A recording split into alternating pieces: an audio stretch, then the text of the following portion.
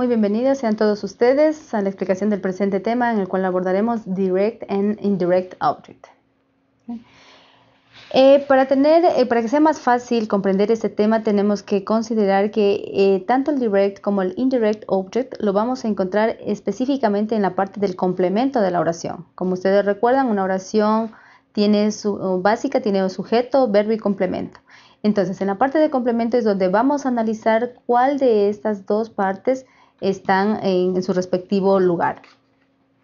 Para ello tenemos que identificar algunas características de cada uno tenemos así que el direct object, yo me refiero al, direct o al objeto directo, yo me refiero a este cuando estoy refiriéndome a o estoy mencionando a algo, no a alguien, sino cuando yo menciono algo, ese es el objeto directo de la oración que está, insisto, dentro del complemento.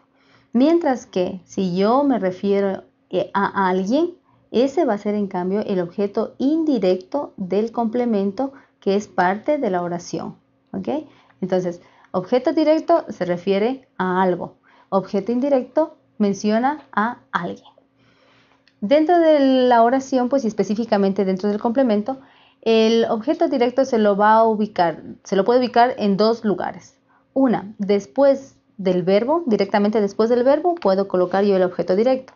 O también después del objeto indirecto, ¿ok? En uno de los dos lugares. y no necesita, sea en la una parte, en un lugar o en el otro, no necesita uh, aplicar o usarse ningún tipo de preposición. Por ejemplo, tenemos ahí, Martha bought some chocolates for Nick.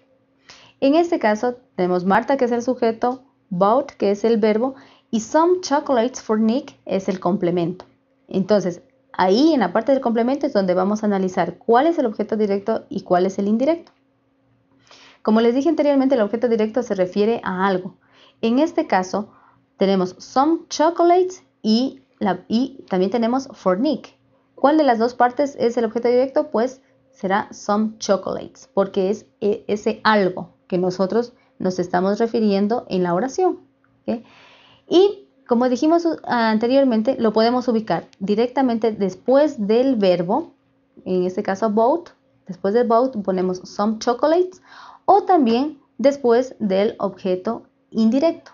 El objeto indirecto en este caso era for Nick, ¿verdad? Entonces después de Nick podemos poner, como en este caso, some chocolates. Ah, las características del objeto indirecto. Ya dije, eh, mencioné anteriormente el objeto indirecto se refiere a alguien o, con el objeto indirecto mencionamos a alguien. Y este objeto indirecto también puede ir en dos lugares dentro del complemento, sea después del verbo o también después del objeto directo. Tomando en cuenta aquí que si lo ubico después del objeto directo, tengo que usar la preposición to o for. Ejemplo, Tomando como referencia el ejemplo anterior del objeto directo, pues vamos a, analizar en este caso directamente, eh, específicamente el objeto indirecto. Martha bought Nick some chocolates. En este caso, como el objeto directo se refiere a alguien, entonces Nick en este caso es ese alguien. Y some chocolates, como ya dijimos aquí anteriormente, viene a ser el objeto directo. En este caso, en este ejemplo, lo hemos puesto a Nick directamente después del verbo. En lugar de Nick también puedo usar him, o sea que se puede usar el verbo, perdón, el, el nombre o en este caso también him. Cambiándolo de lugar al objeto indirecto podemos tener la siguiente oración. Marta bought some chocolates for Nick. Aquí, como vemos, el objeto indirecto está después del objeto directo. Por lo tanto, y como ya pusimos en esta parte de aquí, dentro de las características del objeto eh, indirecto, cuando va después del objeto directo, eh, tenemos que recurrir al uso de la ah, preposición, en este caso, for. Puede ser for o en algunos otros casos puede ser to.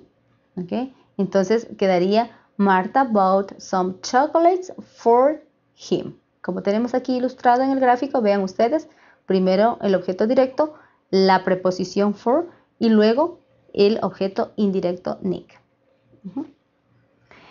Tomando en cuenta estas características, revisemos algunos ejemplos. Linda sent a gift to her mother. ¿Dónde vamos a ubicar, eh, dónde vamos a encontrar el objeto directo o indirecto? Aquí, en esta parte. Primeramente localicemos cuál es el verbo. Sent es el verbo.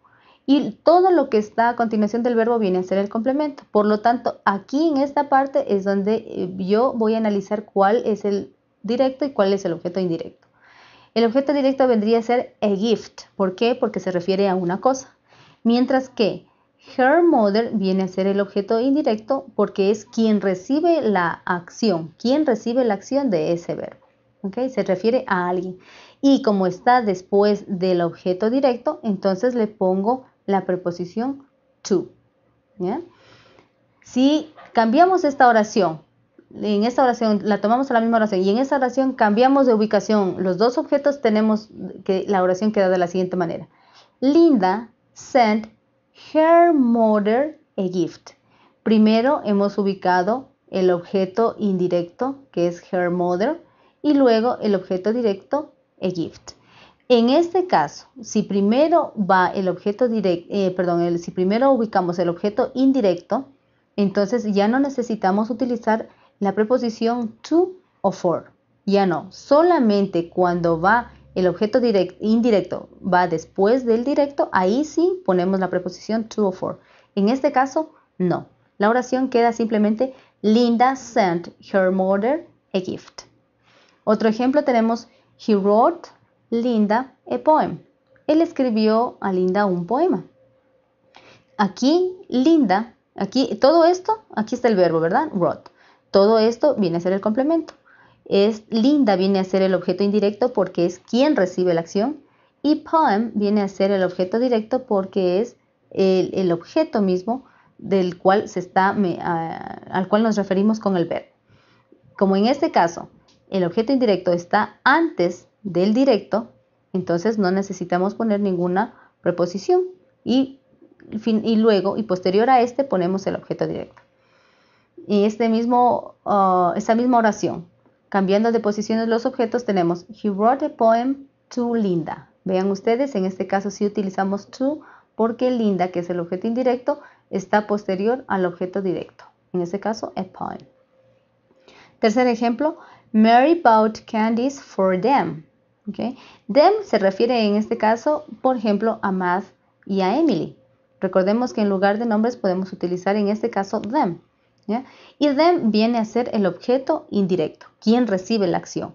Por lo tanto, en este caso, está después del objeto, del objeto directo y hemos ubicado, lo hemos, hemos puesto la preposición for para separar el objeto directo del indirecto. Finalmente tenemos Mary, el mismo ejemplo con los lugares de los objetos cambiados. Mary bought them. ¿Quiénes son them? Matt y Emily. Mary bought them candies. Them, aquí en este caso lo hemos puesto el objeto indirecto después del verbo, ¿no? Y luego el objeto directo que es candies. Y en este caso no requerimos usar ninguna preposición. ¿Ok? Escojamos la respuesta correcta para estas oraciones, para completar estas oraciones. Decimos I gave. Veamos, aquí tenemos el sujeto y el verbo. Aquí está el complemento en qué, cuál de estas eh, opciones será la respuesta correcta en base al objeto directo e indirecto. To him some balloons. O him some balloons, some balloons o some balloons him. Vemos que la segunda opción, him some balloons, es la respuesta correcta. ¿Por qué? Porque en este caso, analicemos la primera opción. To him. Him viene a ser el objeto indirecto. Y como está primero, o perdón, está después del verbo, ¿ok? no necesita esta preposición to, sino que directamente tendríamos que emitir to y poner directamente him. Por esa razón, esta queda descartada. La tercera opción, some balloons him. ¿Por qué no? Porque en este caso el objeto indirecto está después del directo y por lo tanto aquí sí, en este caso requerimos poner la preposición to o en algunos casos for. En el siguiente ejemplo, They brought Caroline some perfume. En este caso, esta es la opción correcta. ¿Por qué no la segunda? Porque en la segunda, si bien el objeto indirecto está ah, bien ubicado después del verbo, pero no necesitamos usar to para separar al objeto indirecto del directo. To no, no en este caso no es necesario. Y finalmente, en ese, perdón, en ese caso, Caroline no sería la respuesta correcta porque pues necesitamos tener un objeto directo e indirecto. Recordemos que hay algunos verbos que, como en este caso, bring, buy, give, send and write. Recordemos que eh, hay eh, este tipo de verbos que siempre nos van a permitir tener dentro del complemento el objeto directo y el objeto indirecto. ¿no? Dependiendo en qué lugar lo ubiquemos, estos verbos son los que nos permiten, algunos de los verbos que nos permiten tener objeto directo o indirecto dentro del complemento, que es parte de la oración. Muchas gracias por su atención.